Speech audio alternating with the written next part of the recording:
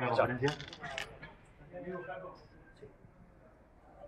Buenas noches, Marcelo en vivo para M50 Radio Güemes. Eh, por momento esta idea táctica de un volante de marca con muchos volantes eh, de ataque, ¿no te genera una descompensación que no termina de acomodar a la defensa de River en esta idea de recuperar rápido que marcaste vos? Puede ser. Bueno, puede ser. Estamos trabajando en eso. Marcelo, estamos en vivo para ESPN 107.9. ¿Qué análisis hace del partido en lo general? Sobre todo por las circunstancias de la expulsión de Piculici, después la lesión de Gallardo. Ya no, ya no me lesionó. Otra vez te volví a lesionar.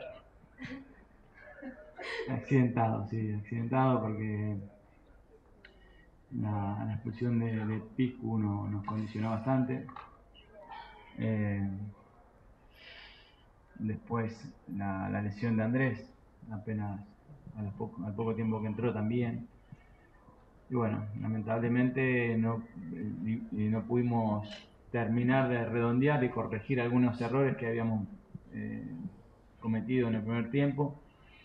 Eh, si bien en el segundo tiempo con un hombre menos, ya con el empate nos pusimos en el partido y manejamos eh, con un hombre menos en el segundo tiempo el, control de la pelota y ya el Cruz no, no, no, nos inquietaba. Eh, con la lesión de Andrés se nos, se nos complicó, ¿no? Se nos complicó y se accidentó el partido y, y sufrimos un poco más de la cuenta después de, tener dos jugadores menos en, campo. Marcelo, ¿cómo te va? Buenas noches, estamos en vivo en Central Fox. Te pregunto primero por la situación puntual de Alessandro, con cómo está él, eh, imagino que la hará en estudios mañana. Y segundo, si en esta rotación que es necesaria eh, estuvo bien la entrada de Arzura. En el segundo tiempo sentiste que, equilibró al equipo. Sí, bueno, sí, lo, equilibró, entró muy bien. Eh, por eso mismo creo que nosotros a partir de ahí nos pudimos soltar un poquito más con los, con laterales y bueno, nos equilibramos. Eh, a partir de ahí creo que fue, otra cosa. Eh, reconozco que, con un hombre menos, ya con una con otro jugador más equilibrado en la mitad de la cancha, no, nos acomodamos mejor y le dimos mayores libertades a, los laterales nuestros y, tanto a, a como eh, como a Titi mientras estuvo en cancha, después Andrés, pero bueno, no, no, no lo pudimos sostener lamentablemente por la, por la lesión de, de Alessandro. ¿Y lo de Andrés qué, es? ¿Mañana habrá estudio para él? Habrá estudio, vamos a, a, mañana ya con un estudio que corresponda y, y bueno, él sintió una, una lesión muscular, así que esperemos que sea la menos grave posible. ¿Qué tal, Marcelo? Buenas noches. Estamos en vivo para Sport Center. Eh, recién decías de, bueno, que estás trabajando para corregir algunas cosas. Te quería preguntar si el que no sea tan golpe por golpe es, quizá lo que más te preocupa o no.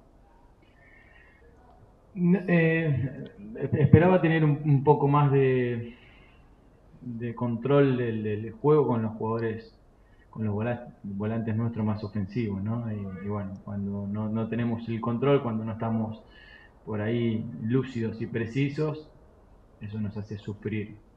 Eh, entonces, bueno, la, la, apuesta desde ahí, ¿no? De, tener el control y la, y la, y la precisión para jugar en ataque, eh, si tuviéramos un poquito más de eso, tal vez sufriríamos menos, pero bueno, eh, estamos en una, en una etapa de, de tratar de funcionar mejor, de tratar de, corregir esos errores. Lamentablemente, eh, no, hoy yo creo que más allá del, gol que sufrimos, eh, creo que si hubiésemos mantenido, nos hubiésemos mantenido los 11 tipos en cancha a, la larga, a la larga en todo el desarrollo del partido, yo creo que hubiésemos sido ya superiores. Y con 10 hombres por momento lo fuimos en el segundo tiempo, con 11 tal vez hubiese, hubiésemos sido más consistentes. Y, bueno, ahora tenemos que, que remar desde atrás, ¿no? Porque no, no, no, no esperábamos esta, esta derrota. Me dio bronca la, la, de, la de Córdoba eh, y hoy todavía mucho más la, la de esta noche en, en nuestra cancha y con dos jugadores menos. Buenas noches, Marcelo. Marcelo Brachetti para Tablón.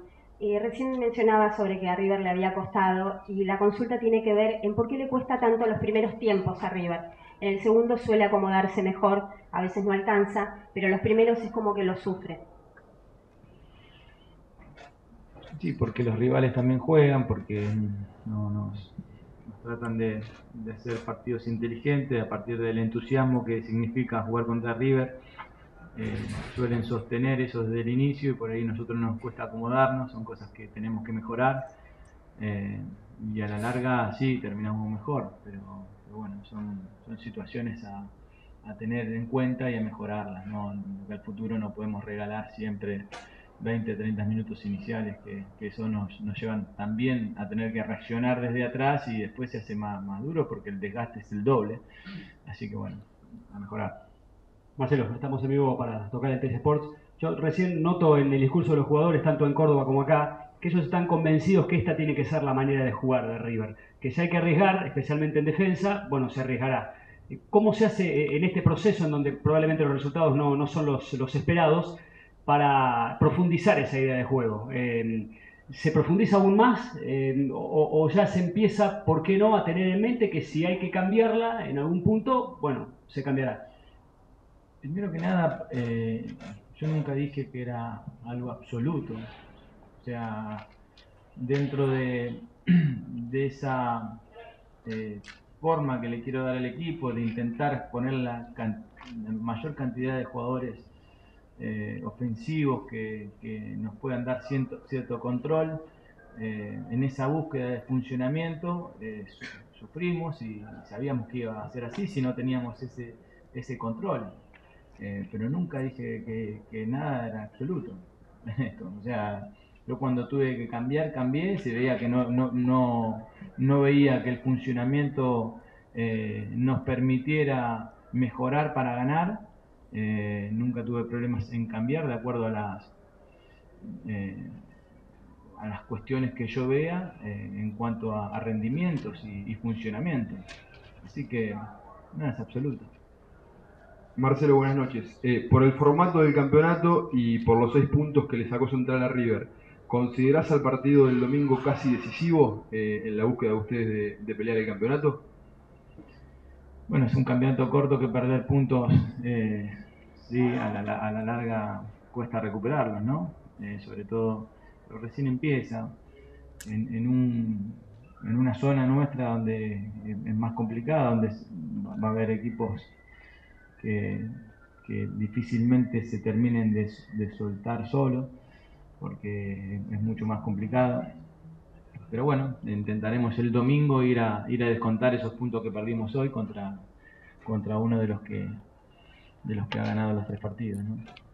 Buenas noches Marcelo para Sintonía Monumental AM690. Eh, ¿Pensás que la idea de la rotación que, que sostuviste durante la semana eh, va a necesitar necesariamente de, de una base de, casi un 11 titular para poder sostener un nivel o todavía hay alternativas para que alternar los jugadores de resultados y haya un rendimiento parejo entre los diversos equipos? Yo, yo entreno 25 jugadores y, y en esa alternancia voy viendo cuáles son las respuestas. O sea, yo no, no entreno con 11 jugadores entreno con 25 y, y, considero que, que, tengo buenos futbolistas para, para, para encarar eh, un, cuatrimestre que va a estar muy cargado de, partidos. O sea, y, y, bueno, ya vimos hoy que empezamos a sufrir algunas cuestiones, ¿no? Empezamos a, a, perder un jugador que había jugado 90 minutos el domingo, que es Alessandro que lamentablemente no había hecho la pretemporada con nosotros, pero sí venía a hacer una pretemporada en Brasil, entonces hay que tener eh, esas cuestiones eh, muy, estar muy alerta de eso, porque no podemos perder jugadores. En una competencia donde está tan comprimida, donde vamos a jugar dos torneos en, en muy poco tiempo, eh, perder jugadores es, son bajas que, que duele. Marcelo Clara recitando para este gol. Más allá de la bronca de los resultados que seguramente tenés y ya, ya expusiste, ¿es lógico en algún punto algunos fallos o problemas que está teniendo el equipo en, en circulación o en, o en cuestiones tácticas pensando que es un equipo en formación, porque más allá de que la gran, la base de, de, los campeones está, tenés mucho, sobre todo en la columna vertebral que se modificó. Sí, pero bueno, es una es, es un periodo, eh, no digo de prueba porque estamos en competencia, pero que, que, que bueno, que a través de, lo, de, los errores debemos mejorar. A, partir de ahí uno mejora.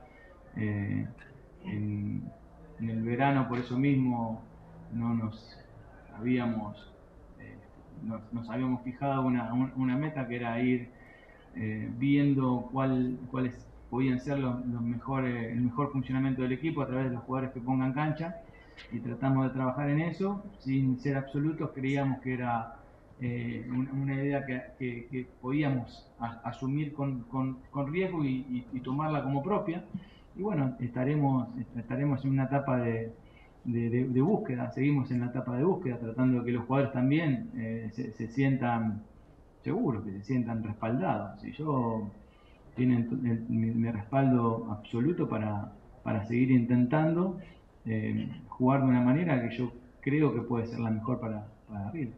Marcelo, Germán Balcarce para la página millonaria. Eh, hablas de tu idea. Eh, es una idea muy complicada de llevar a cabo en el fútbol argentino porque, por ejemplo, recuerdo que en los meses previos al famoso Río de Barcelona, cuando todavía era una conjetura, imaginé esa final, remarcabas que una manera de complicar el Barcelona era a través de la presión. Eh, en el fútbol argentino todos los rivales presionan, todos los rivales corren, quizás eso no ocurre, por lo menos para mi gusto, en el fútbol español. Eh, la idea que vos tenés acá en el fútbol argentino de sumar jugadores desequilibrantes y de buen pase, ¿se complica más teniendo en cuenta la intensidad de todos los equipos del fútbol argentino, más allá de que sean buenos, malos o, o regulares? El fútbol argentino, el fútbol nuestro es un, fútbol de muchísima competencia, de mucha fricción, donde se corre mucho y bueno, eh, tal vez eh, intentar ¿no?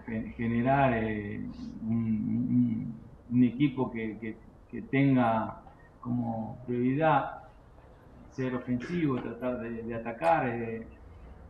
yo sabía que cuando tuviera algún partido, perdíamos algún partido, se, se iba a empezar a, a atacar una, una idea.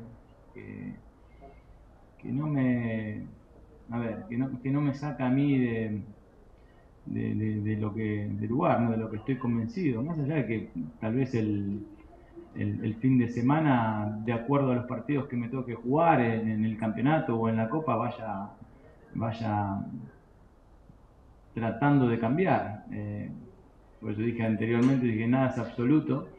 Eh, a mí me gusta que mis equipos vayan para adelante. Eh, y corro riesgo, sí, la idea no es correr riesgo, pero dentro de esa postura, eh, a veces nosotros nos sosteníamos con, con, buenos, con altos rendimientos desde lo ofensivo también, y lo defensivo. Y, y, bueno, la verdad que después hay que recuperar la pelota rápido, tienen que tener los futbolistas que estén eh, totalmente eh, convencidos y, y aceitados y todavía no lo tenemos. O sea, entonces la, la búsqueda continúa y bueno, la, la, vamos a seguir puliendo. Última pregunta. Marcelo, buenas noches, estamos en vivo para Radio Mitre. Sé que no te gusta hablar de los árbitros, pero te quería preguntar puntualmente por la expulsión de, de Piculici. ¿Cómo la viste? Eh, y, y, cómo como cabeza de grupo eh, tenés pensado encarar esta semana que se viene con Central, eh, el viaje a Venezuela, que es un poco complicado por, todo lo que significa la planificación eh, y lógicamente la continuidad del, campeonato? Sí, yo creo que no hay, no hay dudas en cuanto a la, a la expulsión, yo estaba cerca y me, me, pareció que había sido una entrada bastante fuerte, o sea que no tengo nada que decir al respecto.